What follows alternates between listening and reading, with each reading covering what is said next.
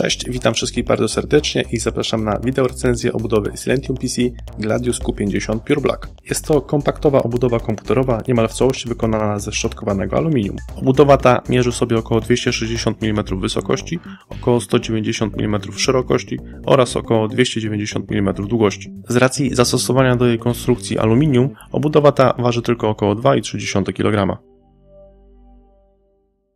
Front obudowy to niemal w całości szczotkowane aluminium.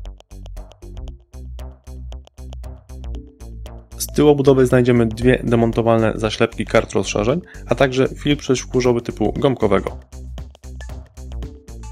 Wprawdzie na pierwszy rzut oka tego nie widać, ale za owym filtrem przeciwkurzowym mamy fabrycznie przeinstalowany wentylator typu 120 mm.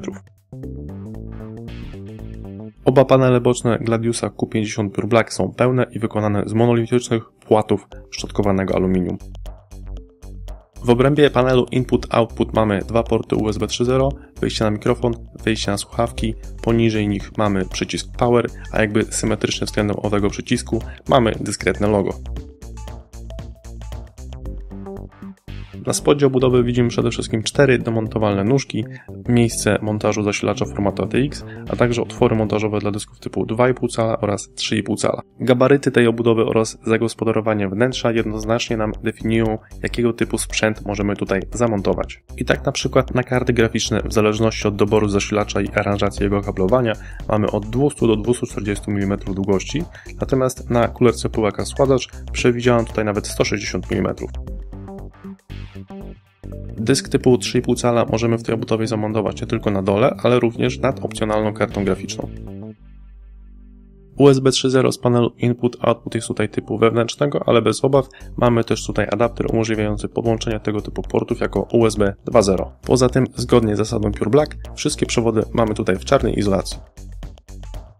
Przypadku tak kompaktowych konstrukcji jak Silentium PC Gladius Q50 True Black bardzo mocno przywiązujemy tutaj wagę do doboru zasilacza. Wynika to bowiem stąd, że większość okablowania albo nawet całe okablowanie zasilacza musimy tutaj realnie poukładać w obrębie miejsca, gdzie montujemy płytę główną, a nie od strony taski na płytę główną. Aluminium zastosowane na froncie obudowy jest naprawdę bardzo grube, ma ono bowiem ponad 4 mm grubości.